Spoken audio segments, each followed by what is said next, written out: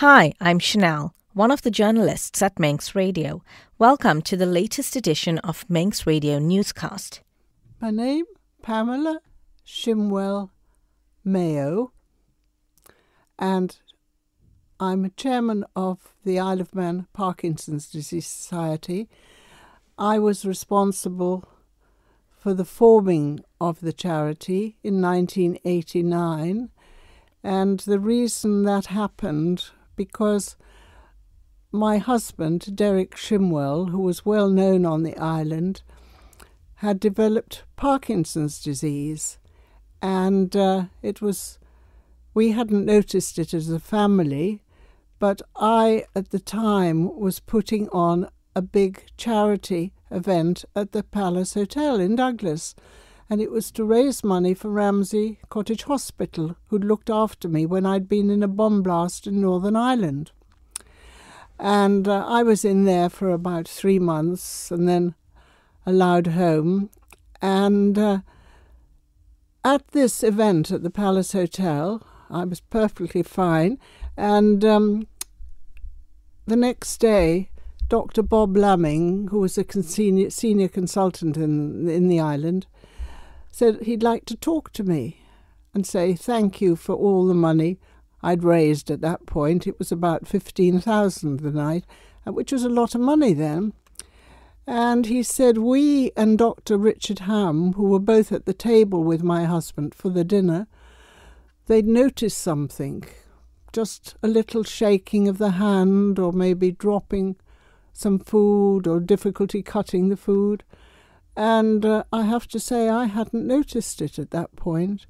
And he said, We'd like to have a meeting with him and you there and just see if he has Parkinson's disease. So, as he was away in Belfast that week on business, I met him at the airport and told a white lie saying I was going to see Dr. Bob Lamming because he wanted to uh, examine me, my spine.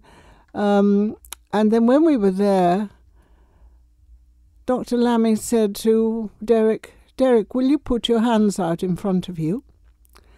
And he took them, and then he turned them over, and he said, I think you could be in the early stages of Parkinson's disease. And that was the beginning of us learning to live with Parkinson's. And it was amazing, very, very slow.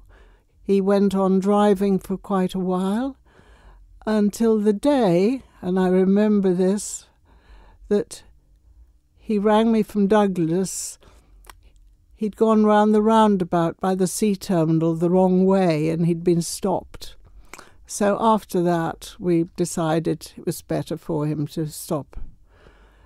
And one day, out of the blue, and this is after he'd had Parkinson's disease for over 30 years by then, we had two little children at the beginning, about five and eight when he was diagnosed.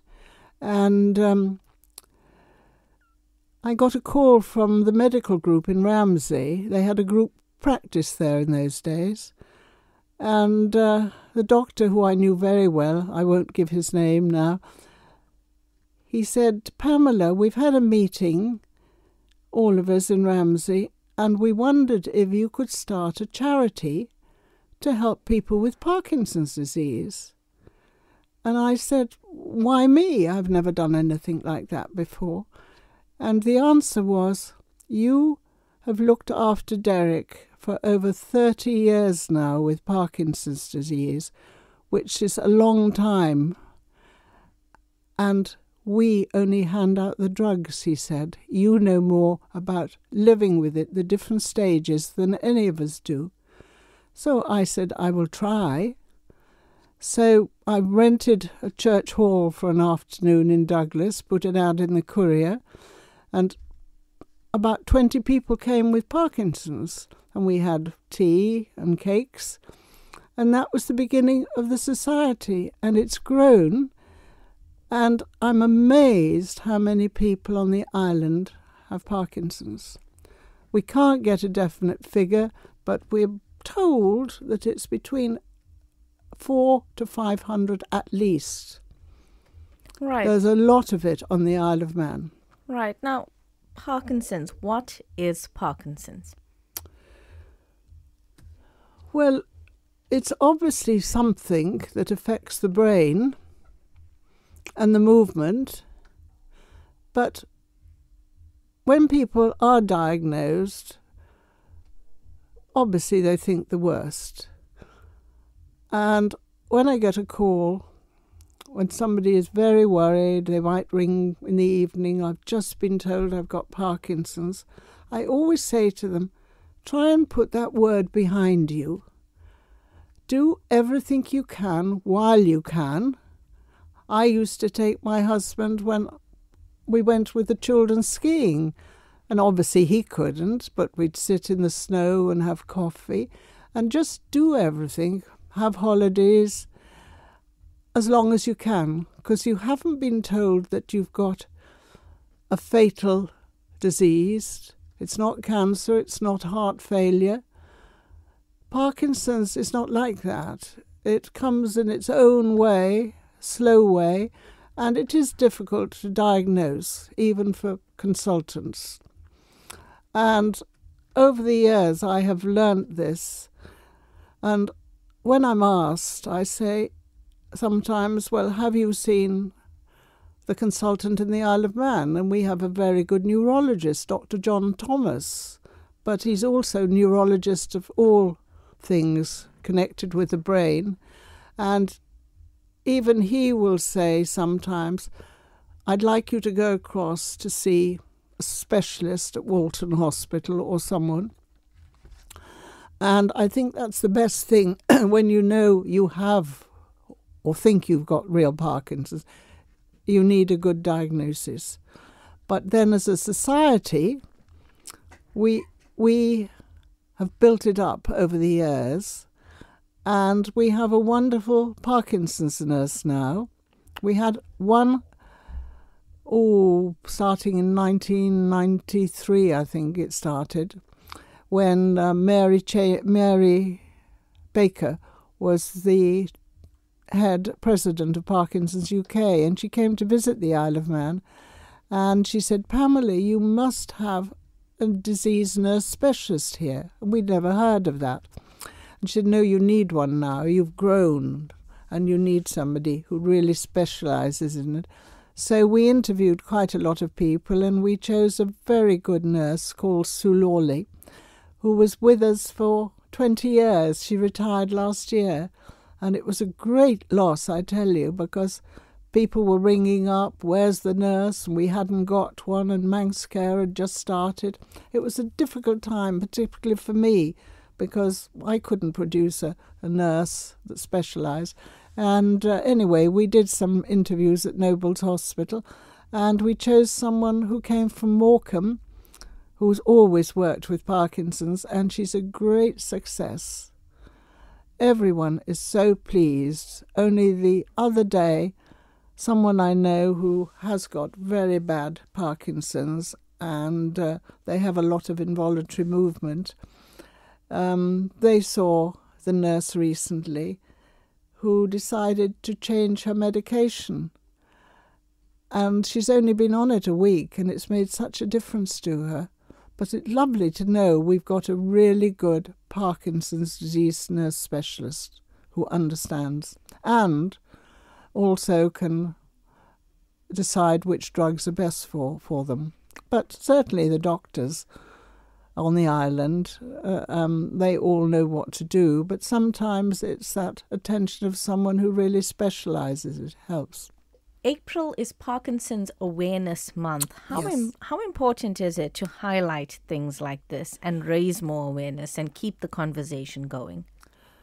Well, it's very important. Um, we learnt it from Parkinson's UK, and I'm sure it has been probably on television this week and in newspapers in England because they have Parkinson's Awareness Month and the one special day. So we followed them a number of years ago and did have a, um, a table in all the shop, rate, ShopRites on the island And we had leaflets we gave out, and people would stop by, whether they had it or not, or whether they wanted to know if they had it. And um, they would put money in boxes, which was a great help. And we also helped by telling people there was a society on the island that they could join or they could ring at any time and ask questions, and that we were there to help them in any way we could. And unfortunately, this year, with all the ShopRite stores closing, we aren't able to turn to them. Maybe one day the, the company that's taken it over, Tesco, will understand and give us a table in all the stores but at the moment, um, I've asked Secretary Sarah if she can do some research to see if there's a, a large company that's open to people visiting all the time, a good turnover. And I've named a couple of companies, but we haven't asked them yet. So we'll wait and see. But um, we're missing Parkinson's Awareness Week in the Isle of Man. So we thought the best thing to do was to put a broadcast to let people know, even though we're not having the tables with information, doesn't mean to say the society's folded up. It's very much there. We've got leaflets if you want it, and um, a telephone call to either the secretary or myself, and we will try and help in any way we can. When you used to run the tables at the ShopRite? Hmm. Um, did you get quite a number of people querying or coming up and asking for advice. Yeah, we did. I was amazed. And they would come up and say, We didn't realize there was a society. Um, I think my husband's got it, or my member of family, or what do you, what is it like and what's available.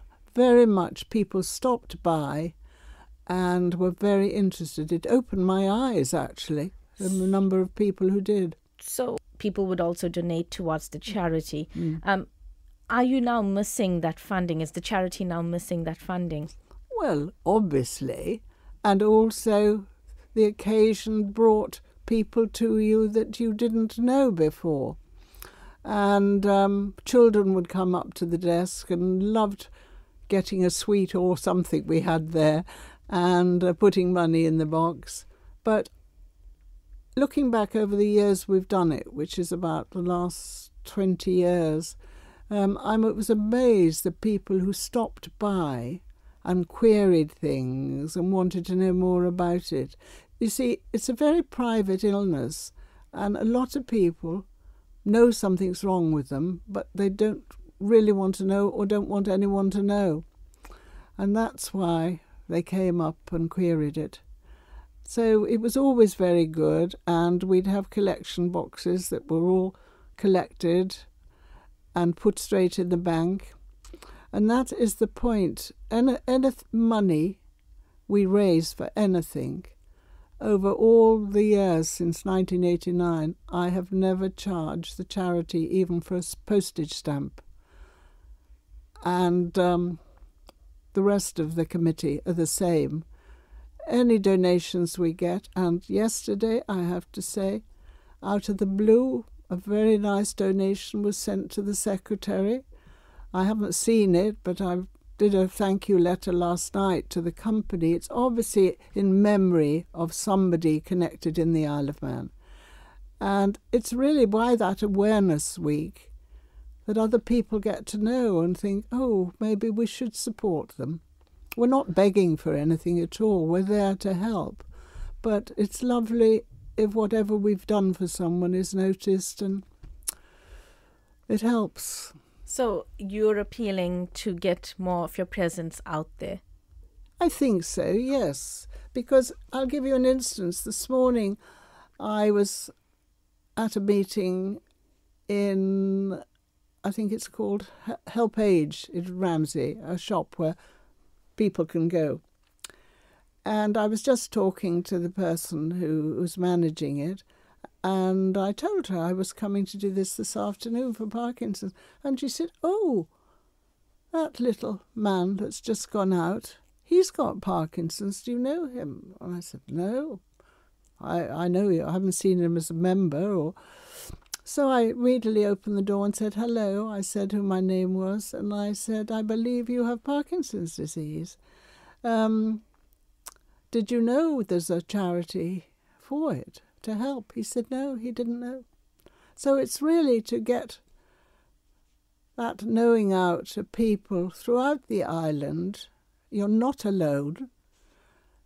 We're very private. We never mention any names. That's the most important thing because it is a private illness. And um, we every month we have a lunch somewhere on the island. We move around from Douglas to Port St Mary. I think it's going to be Ramsey next time. And it gives people who want to, who belong to the society, or even if they don't, they come and we have a lunch, whether it's a hotel like the Palace Hotel or it's the park in Ramsey. And we're looking always for venues where we can take about 40 or 50 people that are able to come. And that venue has to have car parking. That's the important thing. And also an ease of entrance to get people in because a lot of people with Parkinson's have to give up driving but if they let us know they would like to come to a lunch, we organise transport for them and a car will collect them. And that gets people out of their homes. And one day, a few years ago, we were having a, a very nice fish and chip lunch at the Creg-ny-Baa. And there was a lady sitting opposite to me, and I noticed with her hands were shaking, she was having difficulty with the food. And I looked at her and I said, Margaret, is there anything we can help more for you as a society?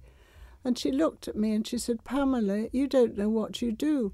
She said, I look forward to that one day a month that I can go out and put a dress on and lipstick. And I shall never forget it. Bless her. She, she's passed away now. It's about 10 years ago, but I'll never forget those words. That how important it was for some people with it because they just feel, you know, they've got an embarrassment and uh, there's no embarrassment with it. And uh, we welcome them with open arms and they can come and join in the lunch. And in May, once a year, all of them come to my home with the lovely big gardens at Ballymore and we have chairs all along the ter- terrace and tables, and um, hopefully, I pray hard it'll be a sunny day, and they love it. And then we have the full size billiard table in the hall covered with lovely food from salmon to all sorts of things. And they really have a lovely day. And one lady said to me last year, she said, I count the days of the year to when we're coming because she said it's so lovely to sit outside and be with people who have the same problem as I do. And so we help those sort of people. Oh, perfect. What are some of the symptoms of Parkinson's? I understand you have symptoms and you can also have early symptoms. Mm. Well, the obvious symptom is a slight tremor in the hand, or maybe one arm to start with, maybe a year before. And I never realized this at the time because, as I say, I never noticed my husband Derek's. Looking back, I, I'm surprised I didn't. But obviously, it wasn't showing, and it comes so slowly, and it's only when the vibration of the body you know, gets worse that you realize and you think there's something wrong. I must go to a doctor. And um, on the whole, the majority of people don't all shake a lot. Some do, some don't. But some can get something which is called dyskinesia, which is a form of shaking for Parkinson's disease. And we have a few people like that. And it, for them, it is an embarrassment because they know they wobble, they could fall, and uh, it, it, that part is, is hard for them. But as I say, medication's improving all the time, and uh, hopefully they'll get the right medication prescribed by whoever it is here that helps. I've just heard only today about someone who has what they call this tremor, And um, the nurse, who is very good, she saw the person and uh, suggested she went on other medication, which she has done, and it's made a tremendous difference to her. Anything else you want to add or say? Anything that we didn't mention? If anyone's worried and nervous or on their own, I would tell them to make contact with somebody in the society. Um, we wouldn't want to publicise who they are, but know that there is help out there to guide them. If it can't be done here, well, there's other things. And the other thing is because we have a good contact with Parkinson's UK, which we were part of for years. It was only about 10 years ago. Um, we were advised to start a company as well. Well, nowadays I don't think we need it, but at the time there was talk we did. And um, it made a big difference being part of Parkinson's UK. And then we realised we, we didn't we didn't need it, but we talked to them and only the other day I've got a big portfolio sent to me which anyone can see if they contact me and with the current um, details of all the, uh, all the research that Parkinson's is doing all over the world and what the newest things are. And I've been reading it through thoroughly. They haven't got a cure yet, but they're certainly getting near, I'm sure of it. America's doing a wonderful thing, Holland is doing, and Great Britain is, and certainly the Isle of Man. But um, there is that information if anyone would like to have a photocopy of the two or three pages of research that's come through from London of where they're up to now, and also to know that there is a major society in England as well, you see. I think my last question is so research is improving day on day. It is. There's talk about a new pump, a stomach pump. Now, they haven't mentioned it in the research papers they've sent to me, but they're certainly looking seriously, I've heard, at it. And uh, we just have to wait and see and rely it. I had hoped two years ago, we were left a donation here by someone, and in his wishes, he wanted that money to go to research to find a cure. And I had a meeting with Dr. Thomas and the then nurse we had, who was uh, left at the moment, left at Christmas. Um, but it never came together. They couldn't put it together researching it here. So last summer, I explained it to Parkinson's UK and said, if I send this money to you, the wishes are that it has to go to research. And they did it, and they're keeping now, be informed every month how they're getting on. So it's good we're all working together. But I was amazed all the countries that are researching Parkinson's, and so far they don't seem to have come up with a real thing. Mm. But it will happen, I'm sure of it. Oh, perfect. Thank you so much. Thank you for your time. Thank you for making it to the end of the Little Manx Radio newscast. You are obviously someone with exquisite taste. May I politely suggest you might want to subscribe to this and a wide range of Manx Radio podcasts at your favourite podcast provider so our best bits will magically appear on your smartphone. Thank you.